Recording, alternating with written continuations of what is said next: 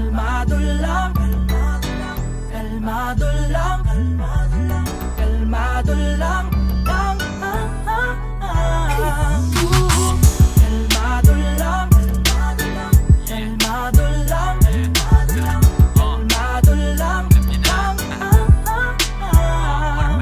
Ibang pagkadali, balikan malalagari Utak ang palalakarin, bitawan mga bagahe Pasensya pahahabain, ang plano paggaganahin Lahat ay makakakain, salamat mapapaamin Sagad at hanggang sa dulo, tsaga kung meron mang tulo Bitaw, palaging todo sigaw Ay nasa tono, ikaw lang din kikilos Ikaw mismo kukuha sila, yung manghihila sila Din manghihina, walang makakaawat hanggang sa makalapit Sariling biyahe lakad, hindi lang nakasabit Hindi pa man makuha at least ay sinubukan Sagot ay laging hanap, hindi ko sinukuhan Minsan ay tinutulan kaya ako tinutukan Pag-asa, tinubuan lahat Yan tinuruan. Lakbay kahit walang kasabay Sumakay. Kahit kailan Huwag kang matakot, sumablay. Sige lang, sige lang Tuloy lang sa pagbibilang, bibilang. Sige lang, sige lang Tuloy lang sa pagbibilang. Yeah, yeah. Ito ang aking gitlang Daliri sa luwin sa kada sambit ng aking pangalan Kesa aking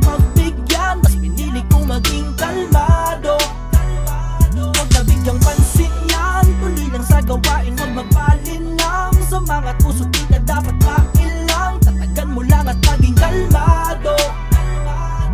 Baliwala, mga tira ng palingkerong aligaga. Di ako interesado sa market yung pantalipaba. Daming dada ng ginawa kundi manghila pa ibaba. Parisukat na ang nara para sa inyong parehaba. Sadyang maingay ang mga nakatali na aso. Lalo na pag hindi pinapakain ng amo. Nang gagalaite ang mga feeling mas gago. Samantalang ako'y nananatiling kalmado. Sa opinion ko't pakiramdam. Di ako mainit, di man lang ako lumigamgam. Bakit ako magagalit? Nasabi na sa akin dati yan Mas masakit kasi kalaban nyo'y walang pakialam. Alam kong gusto nyo lang naman ay magka-views kayo. Di magpapaaning sa mga kapobohan nyo. Kasi mas matagal kang darating sa paroroonan mo Kung babatuhin mo lahat ng aso na kakahul sa'yo. Sige lang, sige lang Tuloy lang sa pagbibilang, bibilang. Sige lang, sige lang Kulang sa pagbibilang, yeah yeah.